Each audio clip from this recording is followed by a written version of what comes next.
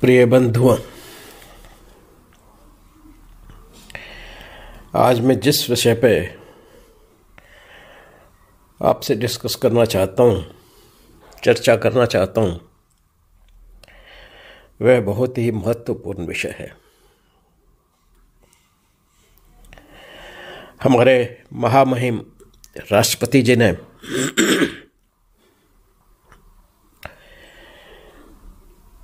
इस विषय के लिए बहुत ही मार्मिक रूप से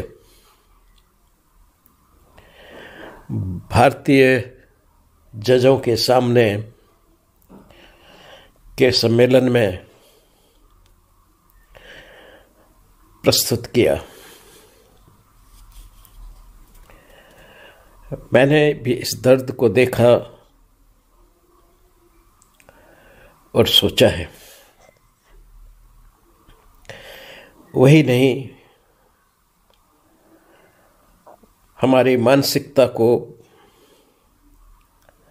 बहुत से क्षेत्रों में परिवर्तित करने की आवश्यकता है। आज जिस पे बात करूँगा,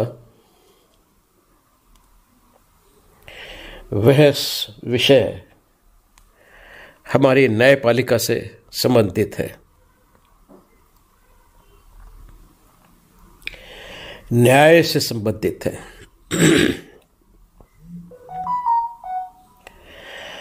हमारी जो न्यायपालिका है आज की, वह विश्व की न्यायपालिका की ही एक कॉपी है। उसी का एक मिला जुला प्रमाण है। और उसी पे आधारित हमारे हम न्याय संगत बातों को करते हैं। बहुत धीमी गति के साथ। यह धीमापन क्यों और कैसे? हमारी न्यायपालिका में आया।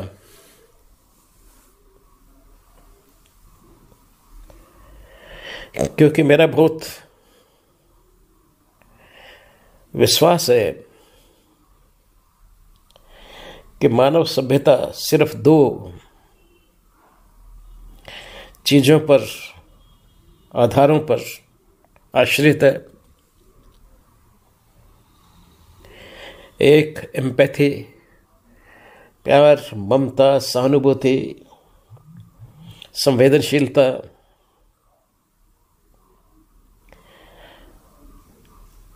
इसके ऊपर और दूसरा न्याय पर जस्टिस पर। ये मानवीय समाज के, या मानव समाज के अत्यधिक इम्पोर्टेंट सूत्र हैं।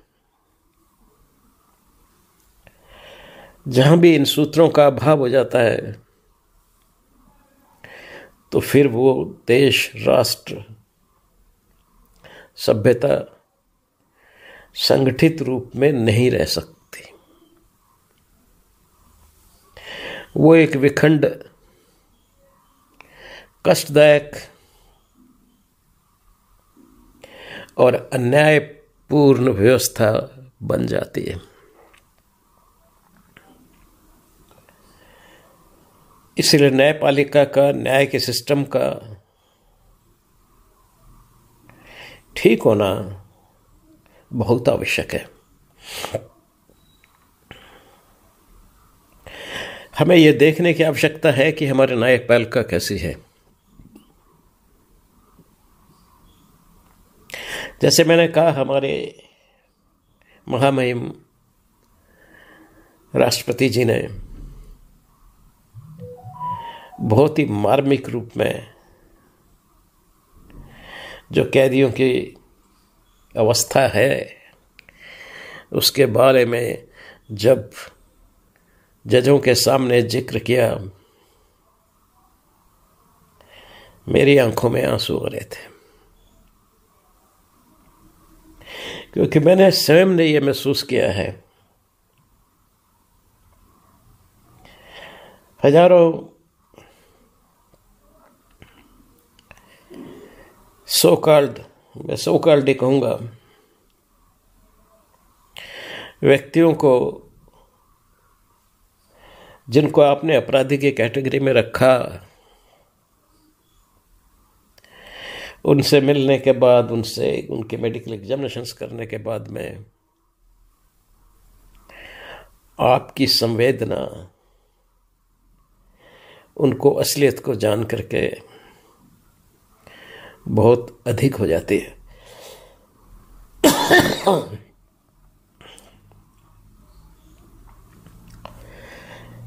ज़िंदगी भर प्रैक्टिकली कोर्टों में ही ज़िंदगी काटने के बाद मुझे ये एहसास हुआ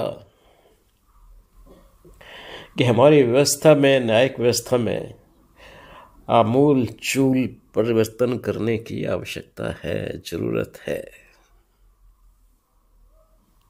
यह सड़ा पुराना सिस्टम डिस्कार्ड करने की इसकी आवश्यकता है। क्योंकि इस सिस्टम में जैसी व्यवस्था बनाई गई है, उसमें से स्वय अन्याय के हमें कुछ मिल ही नहीं सकता। और वही होता है। न्याय के पास जाना कष्टपूर्ण है। उसके अंदर उलझना अति कष्टपूर्ण है। और उससे बाहर आना अति अति कष्टपूर्ण है।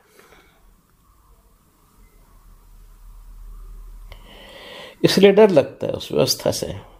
उस व्यवस्था के नज़दीक जाने से भी डर लगता है।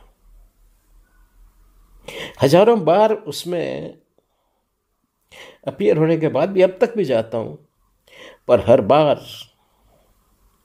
एक भय का माहौल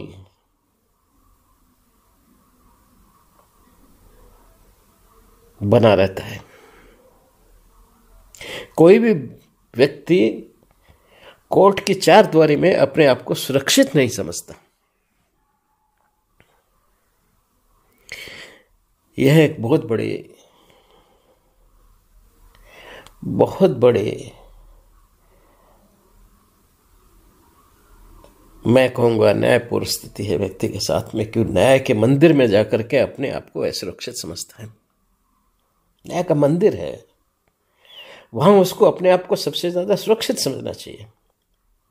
पर हर विटनेस व्यक्ति अपने आप को सबसे ज़्यादा असुरक्षित वही समझता है, क्योंकि सारी व्यवस्था ऐसी है। अविडेंस देने पर उसको अपना भय ज़्यादा लगता है, बजाय कि प्रोसिक्यूशन का या डिफेंस का। उसको लगता है जैसे दोनों उसी पर आक्रमण करने के लिए बैठे हुए हैं। यह आक्रमकता का रुख कोर्ट का। जबकि उस जगह को सबसे ज़्यादा संवेदनशील होना चाहिए। मंदिर से भी ज़्यादा संवेदनशील होना चाहिए। सबसे ज़्यादा असंवेदना वहीं पर है। खैर। मैं थोड़ा भावों में बह गया। मैं कुछ जो बात करना चाहता था उसको छोड़ गया। माफ़ी चाहता हूँ। अमेरिका में भी कुछ मेरी तरह लोग जिन्होंने महसूस किया कि यह व्यवस्था में न्याय नहीं हो रहा है। इसका फ़ंक्शन ठीक नहीं है। तो दो लोगों ने उन्नीस में शेक एंड पीटर न्यूफेल्ट ने Benjamin N Cardozo school of law में, जो येसिवा यूनिवर्सिटी में स्थित है एक एनजीओ इनोसेंस प्रेजेंट के नाम से बनाया। इसका ऑब्जेक्टिव था इनोसेंट लोगों को सजा देने से बचाना। और अगर उनको सजा हो गई है तो उनको वापस छुड़ाना। और रॉन्गफुल कन्विक्शन को बचाना और एक बिल्कुल फेयर और कंपेजनेट मर्म में मर्म में आज हमारे सारे सिस्टम में मर्म का तो कोई नाम ही नहीं है। मर्म मीन्स प्यार, ममता का तो कहीं नाम है ही नहीं। तो उस, इस सिस्टम में इसको फेयर कंपेजनेट बनाया जाए, प्यार भरा बनाया जाए कंपेजन बनाया जाए कंपेजन से पूर्ण बनाया जाए। और जस्टिस का सिस्टम इक्विट सबके लिए एक बराबर हो।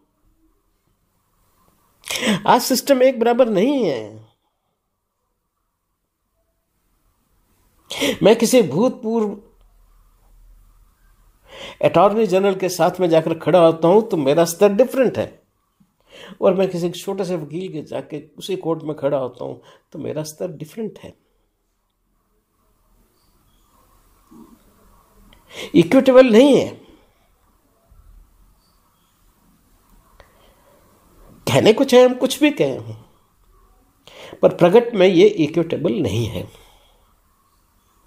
तो उन्होंने कहा, इस सिस्टम को इक्विटेबल बनाया जाए, सबके लिए बराबर बनाया जाए, जिससे कि हर व्यक्ति को पूरा न्याय मिल सके। उन्होंने आगे कहा कि हम अपने काम को विज्ञान से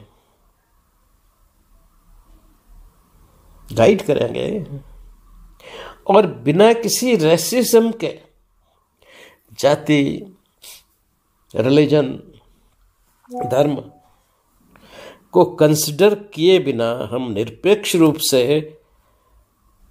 इस प्रोजेक्ट में काम करेंगे। ये उन्नीस सौ बानवे की बात है। उन्नीस सौ बानवे से ये as a non profit independent NGO की तरह लगातार काम करता है क्रिमिनल एंड लीगल सिस्टम में रिफॉर्म्स की और फॉर द फ्रीडम ऑफ़ जो रॉन्गफुली कन्विक्ट लोग थे, उनके विचार में उन्होंने कैसे कैसे केसों को पढ़ा, लोगों ने उनको अप्रोच किया, उन्होंने उनको देखा, और जिसमें उन्होंने संभावना पाई कि ये रॉन्गफुल कन्फाइनमेंट है उन लोगों की उन्होंने मदद करना शुरू किया। उन्होंने चाहा कि हम अनफेयर जो सजा है, वो हम लोगों को उससे मुक्ति दिलाएँगे। उनको बाहर लाएँगे। और इसको उन्होंने एक इनोसेंट मूवमेंट की तरह कि इनोसेंट लोगों के लिए ये मूवमेंट है, इस प्रकार लिख के किया।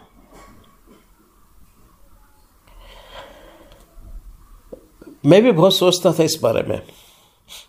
और 1990 में मुझे एक ऐसे व्यक्ति मिले सिस्टम में,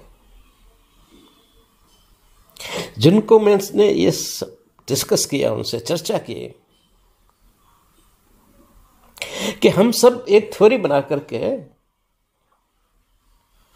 किसी भी इन्वेस्टिगेशन में जाते हैं, पहले थ्योरी बन जाती है, फिर उसको प्रूव करने की कोशिश करते हैं।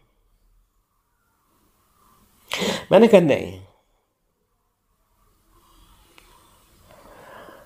हम कोई थ्योरी बनाएँगे नहीं, हम खाली एक सच की तलाश करेंगे। वस्तुतः क्या हुआ, उसको क्रिएट करने की कोशिश करेंगे। वो काफ़ी अच्छे व्यक्ति थे, मेरे से भी अच्छे। उन्होंने मेरी बात को तुरंत माना। और उस समय उनके पास दो केस थे, ये 1990 की बात है। या हो सकता है नब्बे से थोड़ी पहले की भी हो। उनके पास दो केस थे। एक अहमदाबाद में और एक बॉम्बे में। मैंने कहा दोनों केसेस में हम इस दृष्टि से नहीं देखेंगे कि अपराधी आपने पहले आइडेंटिफाई कर लिया। हम उस चीज़ को रिक्रिएट करके और जितने भी संबंधित लोग हैं, उन लोगों को बुला करके एक कोलाब्रेशन करके और हम दोनों ने उसका नाम भी दिया कोलाबरेटिव इन्वेस्टिगेशन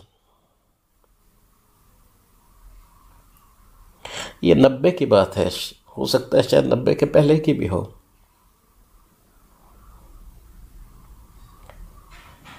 और हमने जिन डॉक्टरों ने पोस्टमार्टम किया था, जो पुलिस ऑफिसर्स पहले इन्वॉल्व थे, सबसे बात करके, उनके स्टेटमेंट्स रिविजिट करके, उन लोगों से एक्सप्लेनेशन लेकर के, और फिर सीन रिक्रिएट किए सीन को भी देखा। अहमदाबाद में भी अहमदाबाद में एक डॉक्टर का केस था। और बॉम्बे में एक लड़के का केस था, जिसका फॉल फ्रॉम हाइट, वो एक बहुमंजिली बिल्डिंग से कूद गया था।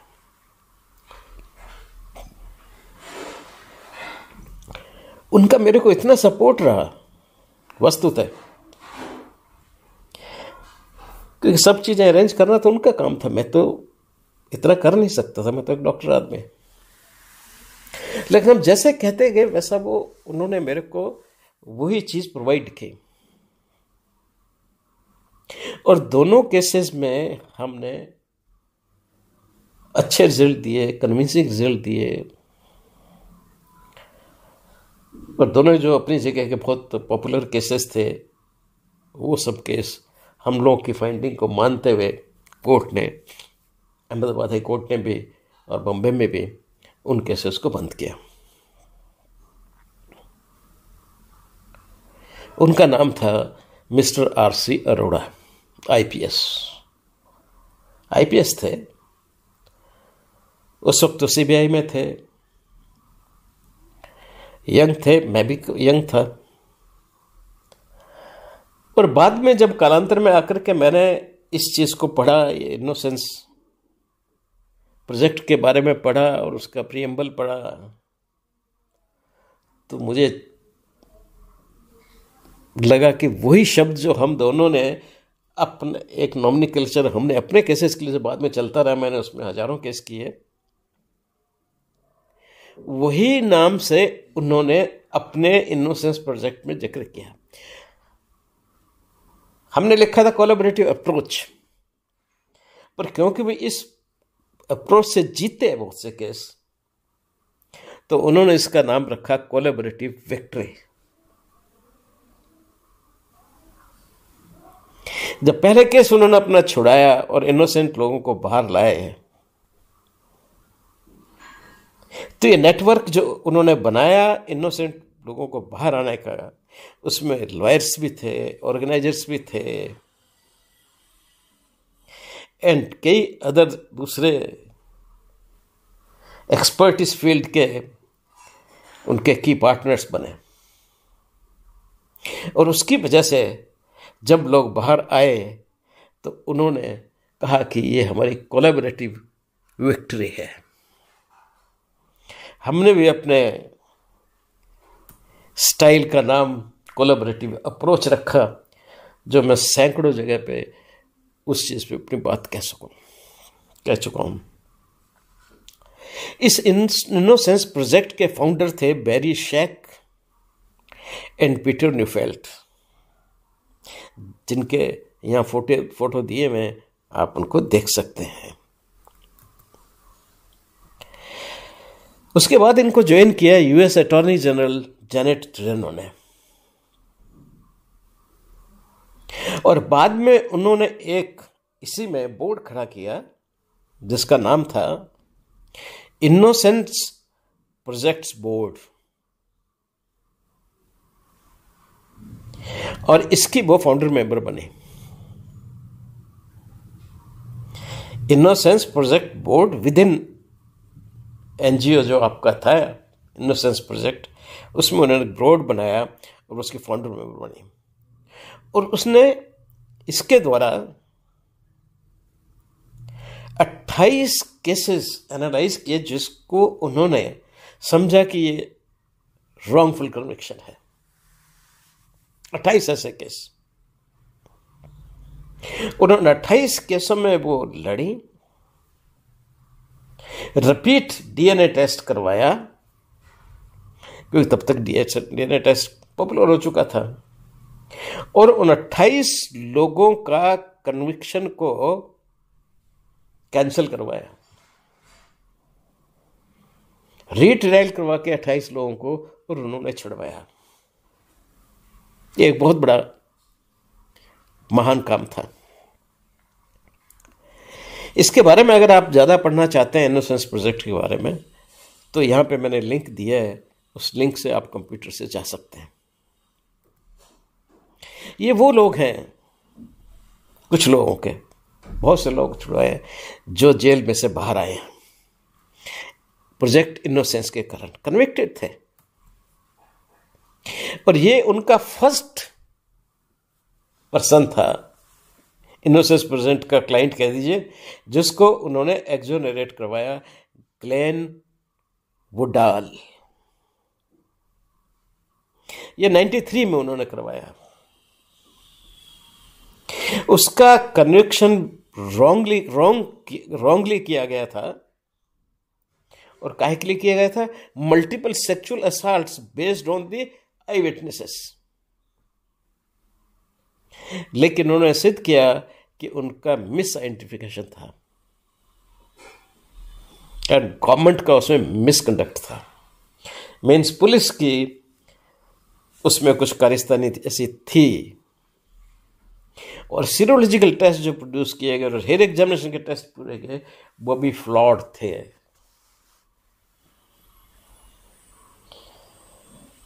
सो यानी विटनेसेस फोरेंसिक सब फ्लॉट थे, जो उन्होंने सिद्ध कर दिया और ये फ्लॉ हो जाते हैं, होते हैं।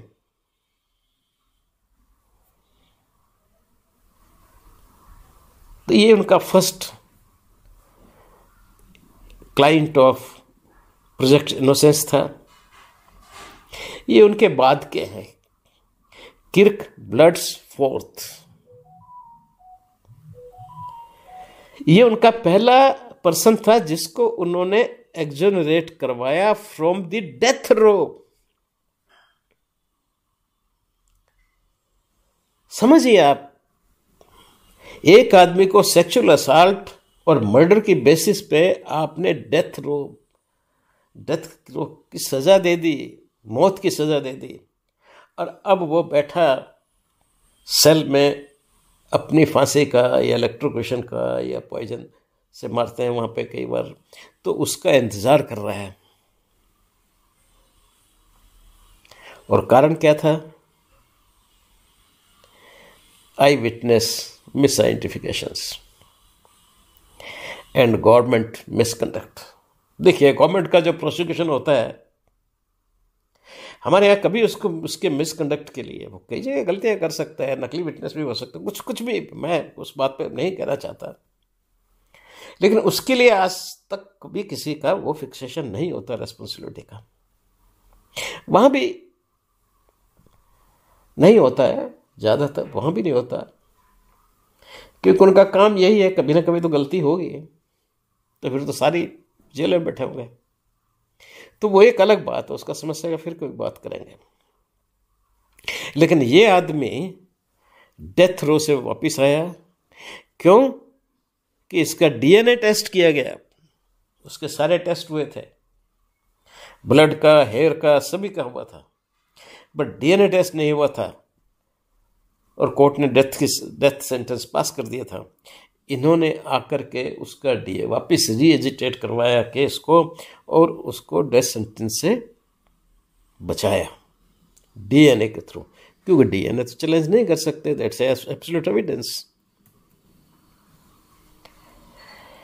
इसका नाम था अर्ल एक दूसरा केस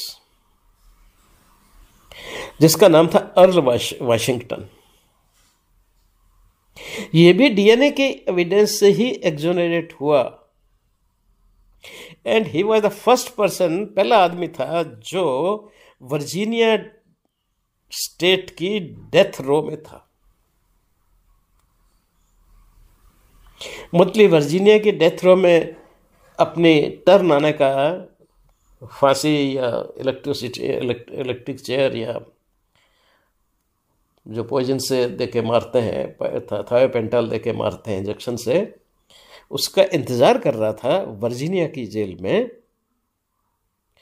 और जेल से, उस दिन आने से पहले ही उसको प्रोजेक्ट इनोसेंस ने डीएनए करवा करके ये सिद्ध कर दिया कि ये आदमी इसमें इन्वॉल्व नहीं था। इस केस से वहाँ के गवर्नर इतने मूव हुए। राल्फ नॉर्थहैम, वो गवर्नर थे, वर्जीनिया स्टेट के ही moved by this proof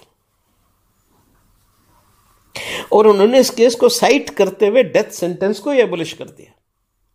Virginia में पहले सेंटेंस था पर 2021 में उन्होंने इसी केस को साइट करते हुए क्योंकि जब उन्होंने पूरी प्रोसेस समझी, और उन गलतियों को देखा तो उन्होंने कहा भी ऐसे सिस्टम में तो डेथ रख डेथ देना पाप है।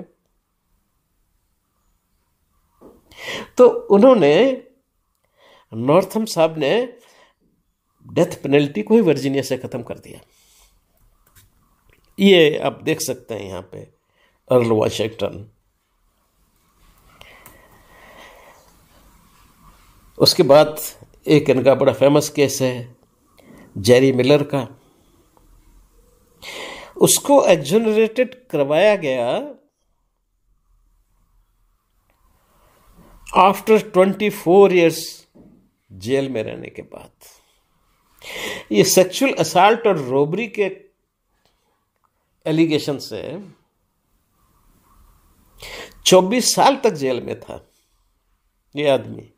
देखिए आप आकर के अपने ऊपर फैमिली को किस कर रहा है। For a crime which he never committed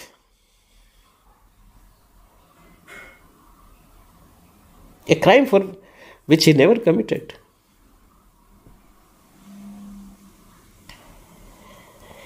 एक आदमी जो पाँच दिन एग्जीक्यूशन से पहले वो जेल में था पाँच दिन उसको रह गए थे डेथ चेयर इलेक्ट्रिक चेयर पे बैठने के लिए, और वो छुड़वा लिया गया। बिकॉज़ क्यों? कि वो रॉन्गली कन्विक्टेड था। गलती से कन्विक्टेड था। और उसके प्रूफ इसी इनोसेंस प्रोजेक्ट ने कोर्ट को रीएजिटेट केस करवा के दिए। और उसकी डेथ के पाँच दिन पहले डेट वेट सब फिक्स हो गई थी। और कोर्ट ने उसको एग्जोनेट कर दिया तो उस पर यह किता, किताब लिखी गई। Actual innocence Barry Scheck Peter Neufeld and Jim Dwyer ने। तो दो तो इसमें अपने वही हैं जो फाउंडर थे इनोसेंस प्रोजेक्ट के। तो उन्होंने इस किताब को लिखा। आई थिंक जो आप में से लिटरेचर पढ़ना पसंद करते हैं, वो उसको ज़रूर पढ़ेंगे। ऐसी बात नहीं है कि ये केस खाली अमेरिका में ही होते हों। कुछ और केस सुना, बताता हूँ। 69 में एक 16 साल का बच्चा, डेविड मिडगार्ड को पकड़ लिया गया एक 20 साल की नर्स, जिसका नाम था गेल मिलर। तेईस साल बाद ये कनाडा में हुआ। डेविड मिलगार्ड जो है, ये कनाडा में था। तेईस साल बाद सुप्रीम कोर्ट ऑफ़ कनाडा ने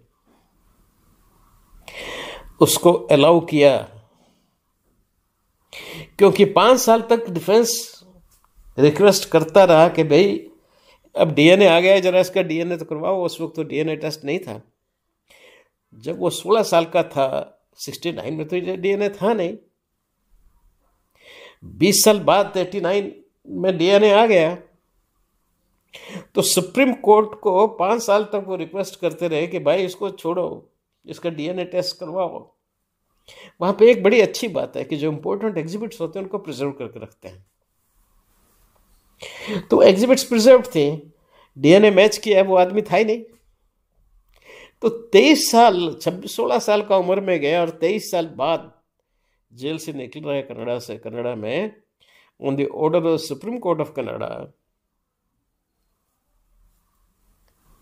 अब आप इसको क्या कहेंगे? यूके में कॉलिन स्टैग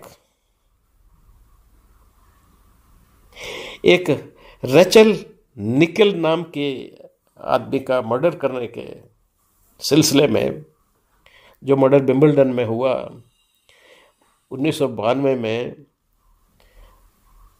उसको जेल में डाल दिया गया। उन्नीस चौरानवे में जाके पता चला कि उसको हनी ट्रैप हनी ट्रैप बोलते हैं कि एक क्लाइंट को जो बंदा है उसको बोलते हैं ये पुलिस वाले कि भाई देख तू हाँ कर ले, अपने इसको, अपने मान ले, कसूर मान ले अपना, लेकिन हम तुम्हें जेल नहीं होने देंगे, हनी ट्रैप होता है। तो वो सनी ट्रैप में आ गया, उसने कन्फेशन कर लिया तो जो सीधा साधा जब आदमी होता है वो कन्फेस कर लेते हैं, ठीक है भाई, अब कर लो, मार खाने से तो अच्छा है। हाँ कर दिए कन्फेशन कर लिया। नवंबर 28 वो बानवे में वो अरेस्ट हुआ। और नवंबर 28 2007 में एक रॉबर्ट नेपुर नाम का बंदा था। वो उसी क्राइम में मारने के, उस लड़की को मारने के के संबंध में राचल निकल को मारने के संबंध में किसी और में उसका डीएनए हो रहा था, उसका डीएनए से मैच कर गया। क्योंकि रेपिस्ट था वो, हैबिचुअल रेपिस्ट था। तो उसमें बहुत सारे केसेस चल रहे थे तो सारे केसेस से उसका डीएनए मैच किया गया था। पता चला जिसके लिए कॉलिन स्टैक को सजा हुई है, उसमें उसका डीएनए मिल गया रेपर मर्डर के लिए। अब आप देखिए, वो बंदा अप टू 28 नवंबर 2007 बानवे से लेकर के आठ और सात, तेरह साल तक जेल में है। डीएनए एविडेंस ने आकर उसको उसका कनेक्शन छुड़वाया फिर स्टैग ने कोर्ट पे दावा किया सरकार पे दावा किया भाई मुझे किस चीज़ की सज़ा दी तुमने और अब सज़ा दी है तो मेरी ज़िंदगी तो तुमने ख़राब कर दी अब मेरे को कंपनसेशन दो तो फिर गवर्नमेंट ने उसको पौंड सात सौ छः हज़ार सात सौ छः हज़ार पौंड यानी सात लाख पौंड यानी कि आज तो पौंड की कीमत कम हो गई, पहले दो सौ का होता था, अब शायद सौ, डेढ़ सौ का होगा। तो मल्टी, उतने टाइम सौ टाइम या हंड्रेड टाइम्स मल्टीप्लाई कर दीजिएगा। तो उतना पैसा उसको कम एज ए कंपनसेशन दिया। But it ruined his fourteen years and he began unemployment because वो जेल में जाके आया तो कौन नौकरी देगा?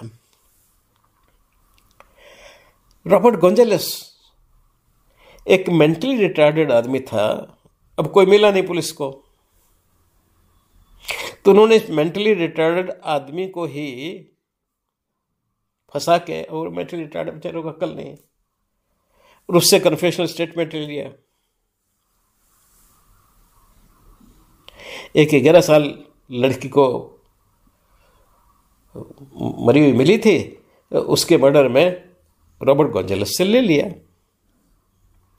ये बहुत लंबे टाइम बाद डीएनए टेस्ट हुआ तो उसको फिर छोड़ा गया। क्योंकि कोई दूसरा एक्यूज पकड़ा गया था, जो डीएनए मिला उसका लड़की पे, उसको उन्होंने नेशनल डेटा में डाला तो उसमें किसी और एक्यूज से वो डाटा वो उसका मिला तो फिर उसको पकड़ा गया, उसको छोड़ा गया। ऐसे नेथेनियल हैचेट यूएसए में बारह साल तक जेल में रहा। रेप के चार्जेस पे, जो प्रूव हो गया कोर्ट में प्रोसिक्यूशन ने प्रूव किया, लेकिन बाद में बारह साल बाद डीएनए की जब आया तो डीएनए के बेसिस पे उसको छोड़ा गया। एक बहुत ही फ़ेमस केस फिर ये यूएसए का ही है माइकल नॉर्टन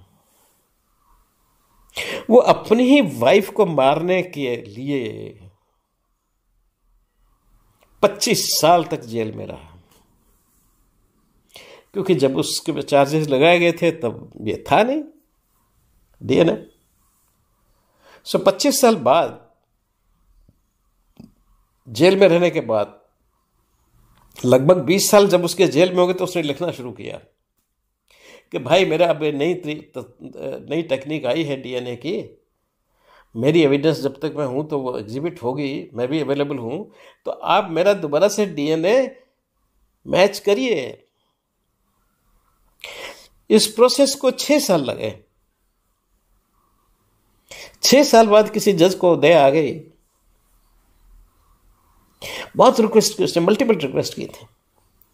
तो छह साल बाद किसी जज को दे आ गए उसने कहा, भाई इतना रिक्वेस्ट कर रहे हैं, चलो डीएनए कर डीएनए करवाया, जब तो पता चला उसका है ही नहीं. So he was released from the court after twenty five years वो सत्ताईस साल का कोर्ट में गया और बावन साल का होकर कोर्ट से बाहर निकला। For a crime which he has never committed जो उसने कभी किया ही नहीं। ये दुनिया भर में होता है। तो इन सबको देख करके पर्टिकुलरली प्रोजेक्ट इनोसेंस से इनोसेंस प्रोजेक्ट से इंस्पायर होकर के पूरी दुनिया में सब कंट्रीज़ ने Australia Canada Greece Ireland Italy Mexico New Zealand New Zealand ने अपने बहुत से विक्टिम्स का जहाँ पे लोगों ने रिप्रेजेंट किया था। क्योंकि वही तो है ना, किसी का कोई कोई होना भी चाहिए। जो बेचारा जिसका कोई नहीं है, वो चल गया तो वो तो चल गया। तो जिनके रिलेशंस फ्रेंड्स डेडिकेटेड फ्रेंड्स होते हैं, उन्होंने कोशिश की और यहाँ पे मैंने आंकड़े दिए कि हर कंट्री में कितने लोग जो इनोसेंट थे, वो जेल में पड़े हुए थे और डीएनए के आने के बाद छूटे। उसमें सबसे ज़्यादा नंबर है यूके का और यूएसए का। मतलब जितनी एडवांस कंट्री उतने ही ज़्यादा चांसेस हैं। फॉल्स प्रोसिक्यूशन प्रोसिक्यूशंस को।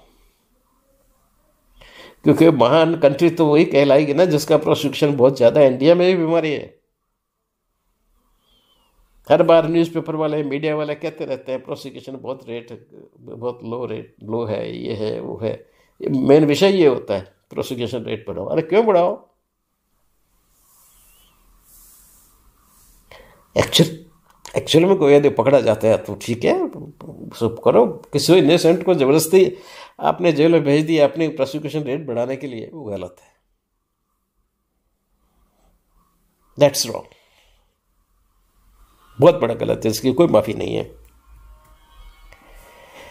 इसलिए मैं देर फॉर मैं आप लोगों को ये बात कही है कही है, और मैं आप लोगों को इनवाइट करता हूँ, सबको सोचने पर मैं आप हाथ जोड़ के आपसे प्रार्थना करता हूँ कि आप इस बात पर सोचें। आप लोग यंग हैं, जवान हैं come forward make a society like project innocence आप उनसे गाइडलाइन लें, उनके मेंबर बन जाएँ, उनके पार्ट बन जाएँ। मैं अपनी तरफ़ से आपको एश्योर करता हूँ कि मैं आपको पूरा अपना सपोर्ट दूँगा। मैं जरा बूढ़ा हो चुका हूँ। अब मेरे में उतनी फ़िज़िकल पावर्स नहीं हैं। लेकिन जितनी भी सहायता संभव हो सकेगी मेरी तरफ़ से, मैं उसके लिए आपके, आपको दूँगा।